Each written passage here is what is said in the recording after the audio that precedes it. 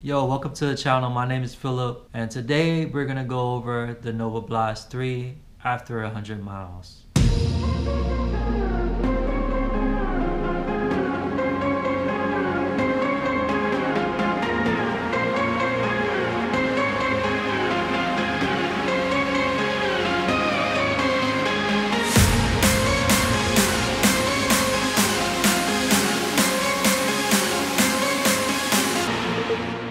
Stick around to the end of this video and I will give you the discount code so you can get a free Coros Pod 2 with the purchase of the Coros Pace 3. Full disclosure, this video is not sponsored. No one has paid me to make this review. So with the Nova Blast 3, they put on a new foam before it was just the FF Blast, but now it's the FF Blast Plus. It is lighter, resilient, and it springs back a lot faster. The Nova Blast 3 comes in at 8.9 ounces, which is significantly lighter than the Nova Blast 2. I believe that Nova Blast 3 sets the standard for how a daily trainer should be. It's durable for your easy run, and it's comfortable for your long run. If you watch my previous videos, this is the shoe of the year. From a beginner's perspective, it's a really great shoe. If I were to buy a shoe in order, okay, I would purchase this shoe first, the Nova Blast 3, and then I would move up to the Nimbus 25. Even though it's such a great shoe, the Nova Blast 3,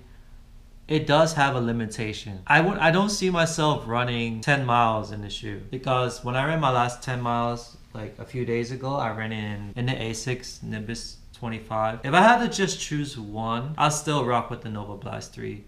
Um, it's just because I don't know if I have bias or this was my first running shoe, but I have so many good memories with this shoe. You guys want to see what shoes before I got into running? Let me show you guys real quick. Look at how beat up this shoe is. This is the Nike React. It hasn't seen a bright day in a while. It's shredded in the rear. Nike logo is ripping off. When I started my running journey, there was no way I was gonna run in this. I took this out to um, Jesse Jones Park. The longest run I've ever done on it was seven miles and the max I would go with this shoe. But what I love about it is is this is a great daily trainer. You can put a lot of miles on it. When Nimbus 25, I ran 100 miles in that. This one was like at 93. When I first wear this shoe, you know that feeling that runner's high, you're just on cloud nine and you just want to keep running and that's what this shoe does for you. You just got to try on the shoe to know. But let's go over how the aesthetics look. Man, if I had to grade this from 1 to 10, I would give this a 9. Like the colorway on here is so sick. When I used to look at running shoes, like it, it looks so like old, so plain, but the Nova Blast 3, like the little details, how this pops out. And I started to see like other new shoes that are coming out, they're imitating this design.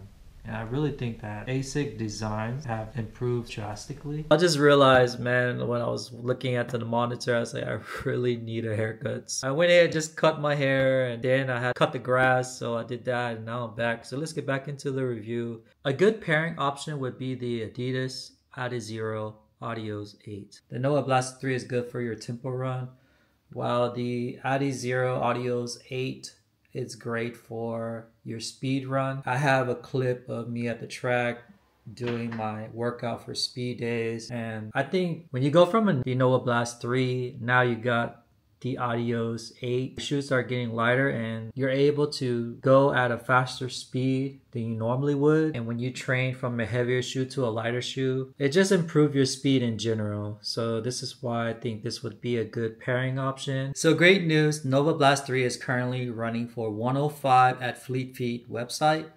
I truly recommend going to a local business store and trying out and getting your your foot fitted, I recommend personally Fleet Feet because they really stand behind their return policy. If you're not satisfied for any reason, you know, maybe the shoe is too small or too big, you can go ahead and go and exchange the shoe for free. No question asked. And that's why I love about Fleet Feet. Even the little things they have pairing up with any running socks as well. I do recommend that. And then it's just the experience of trying on the shoe in person. I always believe that it's it's it's great to support local businesses And businesses like Fleet Feet does a real great job on finding the right shoe for you. So if you're a beginner, I definitely recommend going to your local running store. $105, that is such a great deal. I purchased this actually for retail. So, I mean, you guys are already getting a discount at 105 which is such a great shoe. So I wouldn't hesitate to purchase it. If you guys looking for a daily trainer, this is perfect. The Nova Blast 3 is such a great shoe. Not regret for a second purchasing the shoe. Yes, it's a little dirty. I just took it out to Memorial Park. But I figured I could have easily cleaned this shoe before reviewing this. But I felt like it was more authentic to leave it as it is because at the end of the day, shoes are meant to get dirty. Yeah, of course, it's gonna need a good clean. I'll clean it up before I go to Cambodia. But right now, I'm bringing four pairs of shoes to Cambodia for running, and this is one of them. So, with that being said, man, I hope you guys like this video. Like, comment, and subscribe.